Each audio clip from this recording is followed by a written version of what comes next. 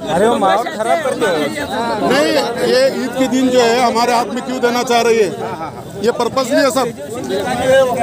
ये जो है ना पर्पसली है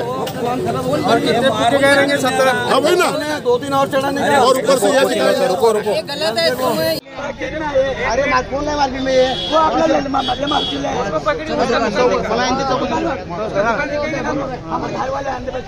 तू भारताची ना तू फक्त आमचं आमचं कौन का बदनाम करला अरे काय करता का तू?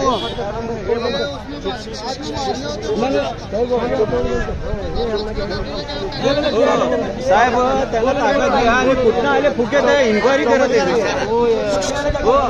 आहे मत करो जान दे पुलिस के हवाले कर को सर को जान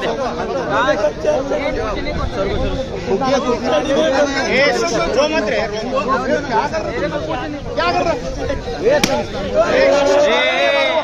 कौन है यार वो